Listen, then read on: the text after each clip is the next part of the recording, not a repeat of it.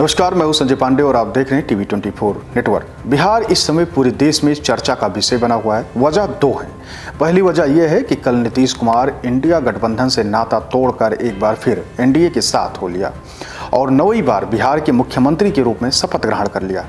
दूसरी वजह यह है कि तेजस्वी का साथ छोड़ने के बाद नीतीश कुमार अब एक्शन मोड में आ गए हैं, जिसको लेकर अब पूरे बिहार में बवाल मच गया है।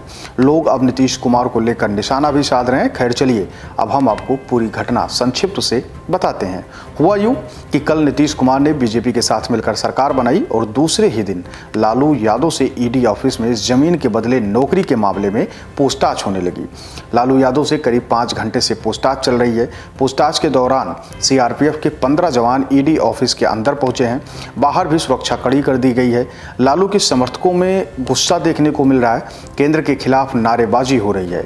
लोग कह रहे हैं कि बिहार सरकार से बाहर होने के अगले ही दिन लालू यादव पर एक्शन होने का आखिर मकसद क्या है? बता दें कि लालू यादव सुबह 11 बजे बेटी मीसा भारती के साथ ईडी का ऑफ़िस पहुँचे थे, लेकिन उनको बाहर ही रोक दिया गया, जिसके बाद सियासत और गर्मा गई। लालू यादव से ईडी की पूछताछ पर लालू यादव की बेटी रोहिणी आचार्य ने नाराज़गी ज़ाहिर करते हुए सोशल मीडिया पर एक पोस्ट शेयर किया है। रोहिणी ने सोशल मीडिया पर अपने पोस्ट में लिखा है in human behaviour by ED officer same on you and yours aka. सबको पता है पापा की हालात। बिना सहारे चल नहीं सकते हैं, फिर भी बिना उनके सहायक के गेट के अंदर घुसा लिया। रिक्वेस्ट करने के बाद भी उन्हें अंदर नहीं जाने दिया गया। मीसा दी, या आप उनके एक सहायक को, प्लीज़ आप लोग मेरी मदद करें। मेरे पापा को अगर आज कुछ हुआ तो इसका जिम्मेदार गिरगिट के साथ साथ सीबीआई और ईडी और उनके मालिक होंगे। चलिए, अब आपको बताते हैं कि आखिर ज़मीन के बदले नौकरी का मामला क्या है।